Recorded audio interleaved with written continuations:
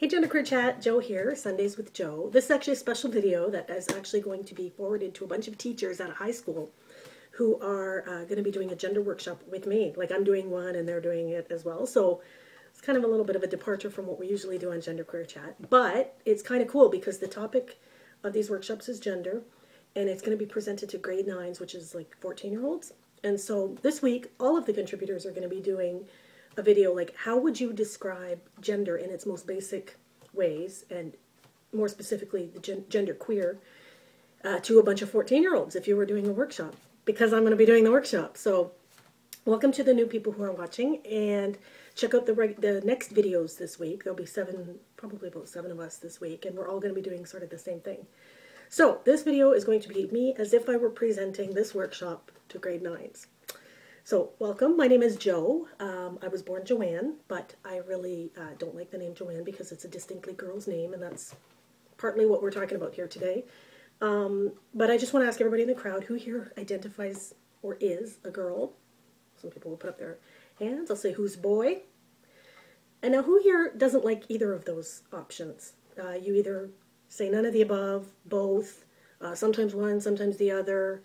Um, and then hopefully one or two kids will put up their hand. And we're going to have some kids from Positive Space in the workshops that I'm doing, so hopefully some kids will put up their hands. And this will open up the discussion for the gray area, otherwise known as gender fluid, gender variant, or gender queer. So, um, one of the things I kind of want to talk about here are just some of the, the basic terms in the world of gender. Um, transgender, transsexual, sex, gender presentation, gender neutral, gender queer, cisgender, androgynous, two-spirit, kind of goes on and on. So hopefully some kids will get, at this point, the kids will discuss what they know, if they know the difference between transgender, transsexual. Gender is between the ears, as they say. Sex is between the legs. When you are born a certain way um, with specific genitalia, you usually get called a girl or a boy at birth and that is what is called um, assigned sex or gender assigned at birth or sex assigned, pardon me, sex assigned at birth, not gender. Gender is a choice and a child can't really, an infant can't make that choice until they've developed a sense of identity and who they are. And once that's occurred, they can identify what gender they are. But a, another person cannot identify your gender for you. Only you can do that for yourself. So your sex assigned at birth, I was assigned female at birth, for example. So throughout the course of this day, we're going to be doing a little project. It's called the Gender Gumby. I have a little Gumby here. And uh, Gumby, well, this one doesn't really, but Gumby is supposed to stretch, uh, much like, and he's flexible, or she's flexible, or they are flexible. Um, which means over the course of time, sometimes things change, people change, who you are changes. Um, one thing doesn't change, I'm just going to show you this is my gender Gumby. We're going to pass this out to everybody. Um, your sex assigned at birth. I was assigned female at birth, so I'm going to put across there. Uh, I don't get a say in that. That's the way it is. Um, as most people don't actually know what sex they are officially, other than their external genitalia. And that is when it's a baby is born and they see a penis, they say it's a boy, and when it's a vagina, they say it's a girl. But there are other ways to define sex, and that is, some of them include, and at this point I usually open up the floor and I draw a list. Um, when I did it with the kids at the high school a few weeks ago, this was one that we came up with. We can pause the video at this point if you want. Um, I'll read them out loud. Boys have, I'll just go down the male, the male column and then I'll go down the female column. Males typically are assigned XX chromosomes. Now, you don't always know your chromosomes unless you have them tested. I actually did have mine tested at some point on a website called 23andMe, which was pretty cool. It was just a, um, like to determine your ancestry. But actually, I'll just crisscross here. Female is XY, and um, because I am missing, I don't have the other, I'm wrong, sorry. Female is X, XX male is XY. And because I don't have a Y chromosome, they couldn't determine my patrilineal heritage. So uh, they could only figure out my mother's mother's mother's mother, so to speak. Anyway, so I'll start with female. Female is XX, vagina, ovaries and ova, breasts, estrogen, waist.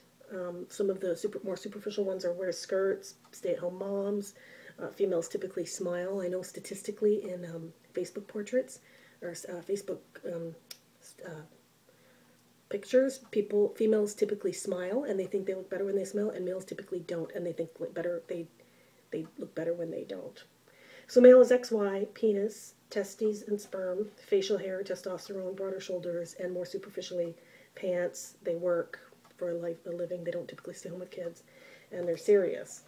So we did this whole actually on the board. We made the big list of, and I asked the kids to participate and throw out ideas of what makes a male a male and what makes a female a female. And at the end of it, I put a big X through it all because I said, you know, you can be born with external male genitalia, but no. Um, actually, let me tell the story of a, a documentary I watched. It was a girl who had been born with external female genitalia. She had um, breasts a little bit, but she by the time she was about 16 or 17, she wasn't. Um, she hadn't yet had a period, so her parents took her to the doctor and they did a bunch of tests and X-rays. I think it was an endocrinologist, which tests things like um, your hormone levels. And it turned out this person, this girl, who identified as female, had actually uh, had undescended testes. She had XY chromosome, male chromosome. Um, for all intents and purposes, she had no female reproductive organs, uh, but she appeared female on the outside, and it was because she had an, I think it was um, androgen, and I'd have to look this up. Uh, adrenal blockers. Um, she was not producing testosterone the way a boy would, and so she appeared female. But for all intents and purposes, uh, she was biologically male, um, but she appeared female and identified as female. And she was quite horrified because a lot of people have a lot of uh, problems with gender. is a big issue. It's a big thing where people um, get very upset when you use the wrong pronoun. They get very upset when you assume someone's the other the the wrong gender, if you call someone he and she wants to be called she, um, especially if it's a person who, who does participate in what we call the gender binary. That is the binary of male and female, and you're one or the other, and never the twain shall meet. So, this channel is called Genderqueer Chat, and I do identify as genderqueer. And one of the things that I discovered quite late in life is that I was never, I was so angry. I always identified as a very, very angry feminist because I knew I had female body parts and I knew I was sexually attracted to men, which we'll get to in a few minutes. Um, I appeared to be a straight woman, but I felt like a gay man. I had a lot of gay male friends and I really related and I really felt like I didn't fit in with women. Women didn't understand me and I didn't understand them. And it just made me very angry and I didn't quite know how to cope with it until I was 37, which was three years ago and I discovered the word genderqueer, partly as a result of Chaz Bono's coming out.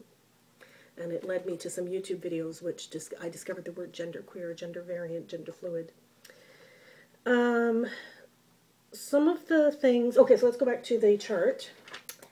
Uh, so gender identity, we'll discuss the next one. Gender identity is how you identify in your head. And in most of my life, I, I didn't think I had an option. I thought there were two options. Female was one and male was the other, so I picked female. Now I put myself not in the middle, slightly more towards the female side, but only slightly. I definitely don't identify as female, but I prefer...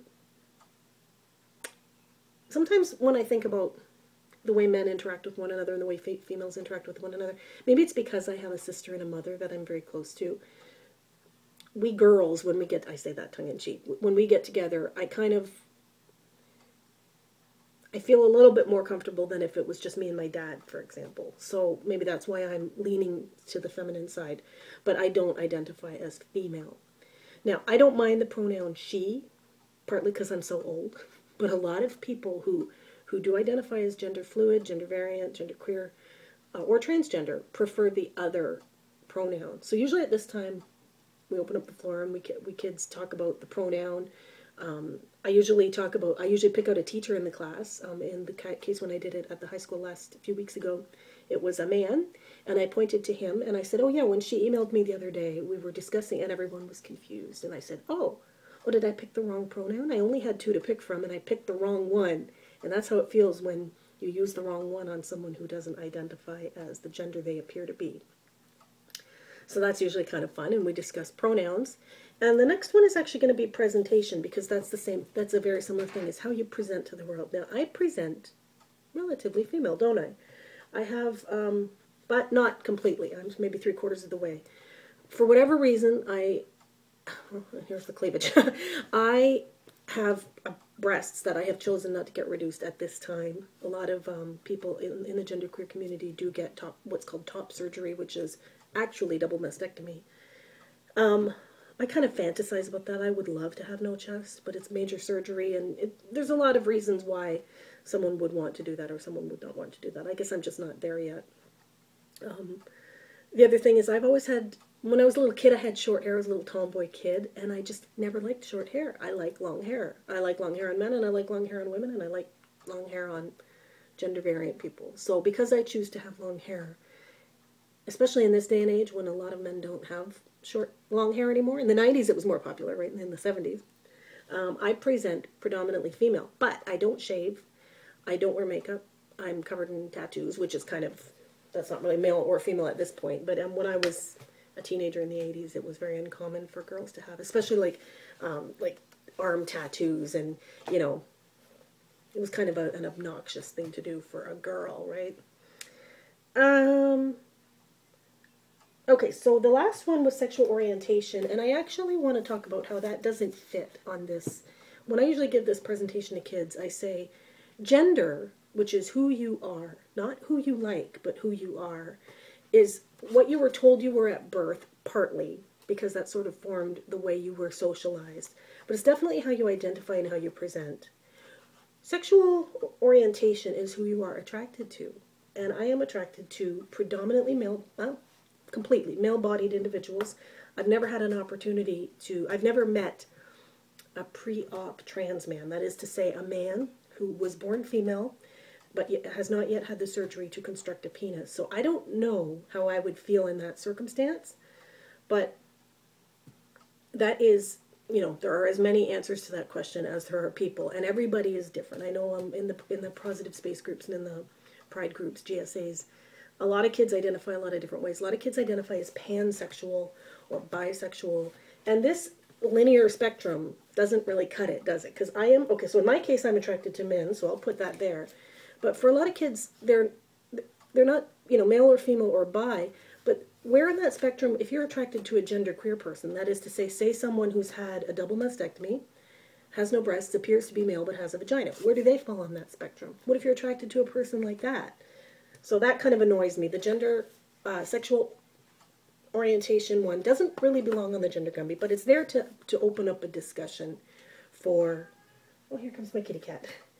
Um, okay, some of the other things we're going to discuss in the workshop uh, are misogyny. Um, where can we see misogyny in our lives? How does it affect our ideas of gender? For instance, why are there different attitudes for girls who play football than there are for a boy who dances? And I could talk about that for days. Um, we'll definitely get the kids talking about that. Um, what toys being directed for boys and girls? Boys are usually logical, action, puzzle oriented, and girls are usually like house or caring or um, developing household skills. I'm really sorry about the cat screeching. He's very noisy when he wants to be.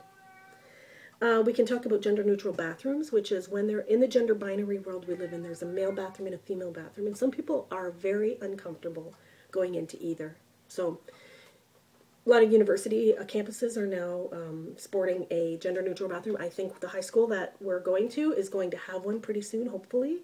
Um, it's quite awesome. Sometimes there's a handicap bathroom and people will use that if they're not comfortable, especially depending whether or not you sit or stand to pee and whether or not um, that will make an impact on what you think other people might think of you in the bathroom.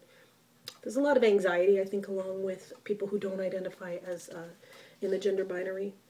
Um, so some of the goals of this workshop would be to understand the terminology, so we can definitely go through um, transgender and transsexual, sex, gender presentation, gender neutral, cisgender. I just want to talk briefly. Cisgender, C-I-S, gender, is a word that me, it's kind of the opposite of, if there is a binary opposite, to transgender. It means someone who was born as one gender and feels good about that gender that they were assigned. The average person is cisgendered, just like the average person is typically considered to be heterosexual. We often call it cis privilege or hetero privilege or heteronormative. This is stuff like where people who were born in the correct body, the correct body, and are attracted to the opposite gender or opposite sex are normal people and treated normally in life. They can get married, they can have kids, they can they can talk about their spouse very openly in life, and nobody gives them a hard time. So a cisgendered person family is very privileged. And um, as a genderqueer person, I know a lot of times um, when people are people will say things to me like, "Oh, well, you you know, as as women, we understand. We're more empathetic." She'll, like women will include me in their conversation, presuming that I identify as a woman, and I don't. Sometimes I don't know what they're talking about, and it annoys me that they've included me. Similarly, I've been excluded because of my gender um, or my sex. I know some guys at work had a, a party one time and it was just for the guys, and I wasn't invited, based solely on my genitalia, I'm presuming, and and how they perceive that. They can't. A lot of people can't per, uh, think outside the box that maybe this person I'm looking at is not as they appear, or maybe I should just be more open minded. Maybe there are all kinds of things that I don't know they are. All right. Um, so we definitely want to get the difference between sex, sexuality, and gender. So sex is the thing that you are assigned at birth. Gender is the thing that you know you are in your soul and in your heart. And that may change over a lifetime. I know um, I presented very female uh, in my earlier years, and then I went through kind of a phase where I shaved my head and I wore suits and ties a lot, and I presented very masculine for a lot of years in my early 20s. You know, that's very fluid. Um, so these things can change over time. Uh, sex, sex, and then sexuality, of course, is who you are attracted to, and that you can also be asexual. You can be attracted to no one. Pansexual, attracted to everyone, regardless of what's in their pants, right? Um, uh, there's so many different ways of looking at this, but as a re- um, one thing I did want to touch on is that positive space day, and especially for these grade, grade nine groups that we're going to be doing, I- I'm going to presume that most of them have never heard half these terms. Most of them have predominantly identified as cisgendered in their lifetime. I really want to open up the idea that that's very presumptuous and it's very disrespectful when you call someone by the wrong pronoun and when you call someone by the name sometimes that they're born with, even though they choose a different name. For instance, don't call me Joanne, gets me angry. Um, a lot of people have um, a new name that they've picked for themselves that they feel more comfortable with. Be respectful, call them that name. Um, an analogy might be if someone gets typically some people when they get married they change their name and they want to be called by their new name and if you insist on calling them by their old name you're being disrespectful towards them um, i also want to touch on uh, well I, I mean i want to open up the idea that this channel gender queer chat which is a channel on youtube there's at least at any given time maybe five to eight contributors once once a, every day we, we put up a video on various topics on gender identity. And um, this channel has been an immense help in my life because I woke up so late in life. I was in my late 30s when I discovered the word genderqueer. Um, but what else? The I think a lot of this, this, this um, I mean, I'm 18 minutes into this video and I've done all the talking, but we want the kids to talk during this session. We definitely want their ideas on how times in their lives they've gender bent, bended, gender bended, um, you know, times that they dressed as the opposite gender and how they felt when they did so, um, if they were ridiculed, if that was part of the reason why they thought it was wrong, this type of thing. So, almost 20 minutes, probably my longest video ever on Gender Queer Chat. But I do want to um, encourage you to watch the rest of the videos for the week, and I'll forward this on to the teachers, and hopefully we can have a great time on Pride, um, or Positive Space Day, which is June 6th. Catch you guys later. Bye-bye.